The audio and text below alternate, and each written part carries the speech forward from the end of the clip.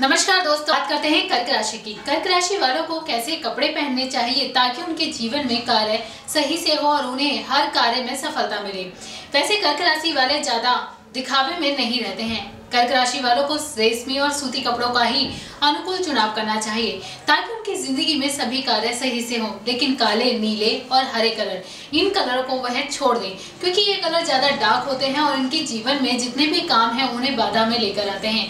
यदि कर्क राशि वाले बहुत ज़्यादा मेहनती होने के साथ साथ उन्हें परिणाम नहीं मिल रहे हैं तो वह सफ़ेद और हल्का सा पीलापन वाला कपड़ा पहनना चाहिए। वैसे तो सफ़ेद ही होना चाहिए तो सबसे बेटर रहेगा, ताकि उनके जीवन में तरक्की आए। सफ़ेद कपड़ा बहुत ज़्यादा अच्छा माना जाता है जब भी आप किसी शुभ कार्य के लिए जा रहे हैं। यदि आप किसी नौकरी पेशेवर में हैं और आप इंटरव्यू देने जा रहे हैं तो उसके लिए ज़रूरी है कि आप सफ़ेद कलर की शर्ट या फिर सफ़ेद कलर का सूट पहन सकते हैं। उसमें ज़्यादा से ज़्यादा डिज़ाइन हो तो और भी अच्छी बात है। वह आपका इंटरव्यू अच्छा भी जाएगा और आपकी नौकरी के अच्छे अवसर भी मिलेंगे।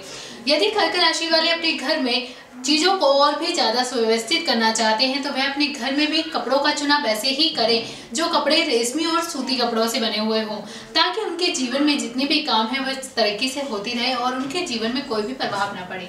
तो ये था कर्क राशि वालों को किस तरह के कपड़े पहनने चाहिए। मेरी इस वीडियो को लाइक शेयर एंड सब्सक्राइब करना ना भूलें।